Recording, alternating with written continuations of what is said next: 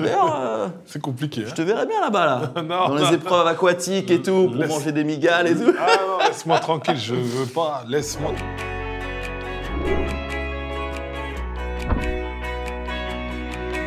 Je t'ai dit, comment ça va Ah, excuse-moi, excuse-moi, je vais essayer d'être euh, doux, mais t'es présent toi aussi. hein. Mais écoute, on arrive à bouger quelques trucs. Ah ouais, quand même. Ouais.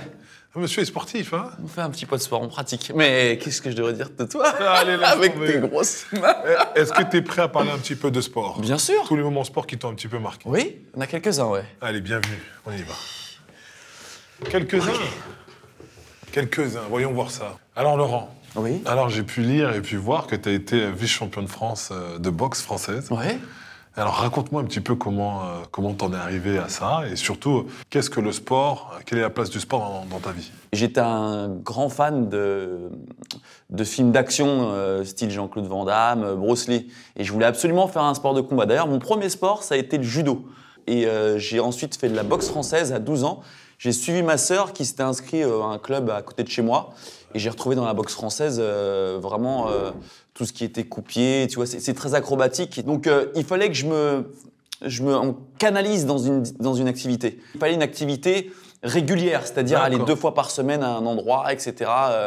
Il fallait que je me canalise et j'ai trouvé dans le sport euh, vraiment euh, une discipline qui me canalise et puis euh, où j'étais régulier. Donc ça m'a vraiment apporté quelque chose de, de positif. D'accord. Laurent, si tu avais un moment de résilience euh, dans le sport, ça serait lequel, te concernant? Ouais. Ah, sans hésiter, un, un combat de boxe française quand j'avais 14-15 ans, c'était pour le championnat de, du Val-de-Marne. Et euh, moi, j'étais venu, bon, tu sais, je venais avec mes sœurs, euh, mon coach, euh, voilà, on est, on est à 2-3, tu vois. Et j'avais combattu euh, un gars, et le gars, je crois qu'il était avec, allez, 20 personnes, il y avait tout le quartier. Ah ouais. Et ça m'a donné une niaque, Ouais. tu vois. Franchement, en plus, je perdais, je crois, c'était sur trois rounds. Ouais. Je perdais le premier round. Et euh, je pense que je perdais parce que j'étais pas dans le truc et tout, tu vois. Et, et au moment où ils ont commencé à m'insulter, Ouais. j'ai fait alors là, c'est pas possible. Je ne peux pas perdre ce combat. Voilà. Et ça m'a donné une niaque. Et donc, euh, bon voilà, je me suis, euh, je me suis vraiment, euh, vraiment, j'ai vraiment tout donné. Je t'ai Et du transcendé. coup, je- ouais, vraiment transcendé, vraiment transformé en, en Super Saiyan, tu vois. En, Trois. Ouais, voilà. Et ça m'a donné une énergie, une niaque. Et du coup, le fait qu'on m'ait insulté et qu'on m'a un peu rabaissé, je crois que ça m'a vraiment aidé à, à- à- à gagner ce combat, tu vois. Si je te dis dépassement de soi, tu me réponds quoi? Moi, tu vois, je pense que t'es es allé à l'événement à la UFC à Paris. Je peux, j'ai encore cette chance, mais parce Bah. qu'en fait, comme toujours, je suis euh, souvent dans, sur les tapis. Ouais, ouais, donc c'est en préparation. temps, ouais. Moi, ça m'a toujours rendu ouf. Euh, je me suis mis à leur place. T'imagines, tu rentres dans une cage et tu sais pas comment tu vas ressortir. Et je me dis, mais qu'est-ce qu'ils ont dans la tête, ces gars-là, pour rentrer dans une cage et se dire, euh, bon, bah, le gars en face, je dois le mettre KO.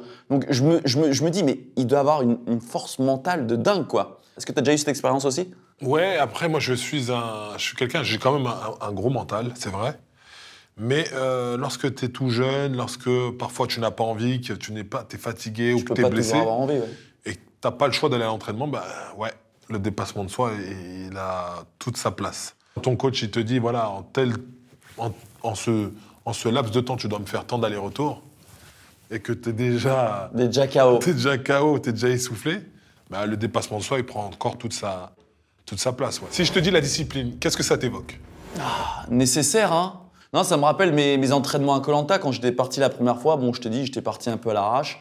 Et dedans, j'étais pas forcément bien, tu vois. Et, et du coup, j'ai pas gagné suffisamment d'épreuves. Mais la deuxième fois, quand je suis reparti, je peux te dire que je me suis donné une discipline de ouf. Donc, je m'entraînais deux heures le matin, deux heures l'après-midi. Je m'entraînais comme un malade. Et puis voilà, pour moi, plus tu, tu donnes de l'effort, plus tu travailles, plus tu es récompensé. Donc, euh, je me suis entraîné comme un malade. Et euh, bon, je me suis pas entraîné à ne pas manger. Hein. Euh, D'ailleurs, euh, C'est compliqué. je te verrais bien là-bas, là. Non, Dans les épreuves aquatiques et tout, pour Laisse- manger des migales et tout. Ah non, laisse-moi tranquille, je veux pas. Laisse-moi tranquille, je préfère être derrière la télé dans mon canapé. C'est quoi les, les clés pour être un Teddy Riner à l'heure actuelle? Oh, les clés, déjà l'envie. L'envie, c'est important. Mais moi, je crois que très tôt, lorsque je suis entré à l'INSEP, pour moi, c'était déjà. euh, je suis pas là pour rien.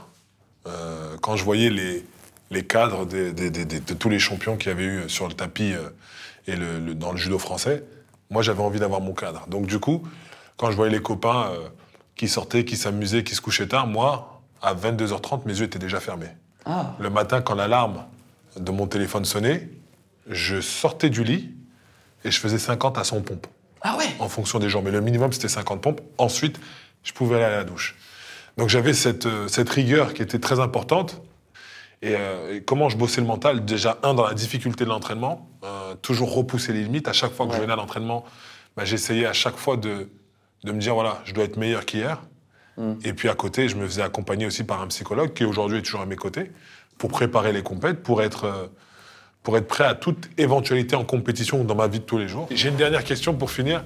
Si je te dis cohésion, Cohésion. Ouais. Cohésion, qui dit cohésion, dit sport, euh, sport d'équipe. hein. Mais si je pouvais te citer un événement qui m'a marqué en termes de sport d'équipe, c'était euh, c'était euh, la NBA, la Dream Team pendant les JO euh, en 92. Je crois que c'était en Espagne, Barcelone, Barcelone, voilà.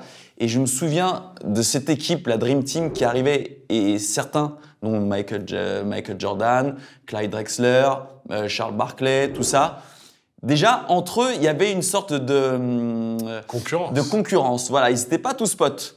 Mais une fois dans le match, ils, ils- tu vois, c'était vraiment l'équipe. Et ils avaient tellement de classe, tellement de charisme. Et pour moi, c'est vraiment la, la- la définition de la cohésion, quoi. Au jeu, maintenant, il y a une épreuve qui s'est rajoutée, c'est euh, le par équipe. Et euh, il y a cette cohésion de groupe qui naît euh, au fur et à mesure de la journée. Euh, plus les combats et les tours passent, et plus c'est vrai qu'à la fin, tu as une équipe soudée. Toute la magie du sport par équipe prend sa place. Ouais. Bah, Laurent, je tiens à te remercier parce que du coup, j'ai pu un peu comprendre tous les, tous les grands moments et ce que le sport t'a apporté dans ta vie, euh, la place que ça a occupé. Donc, euh, merci pour ces petits moments euh, qu'on a pu découvrir ensemble. C'est moi qui te remercie, Teddy.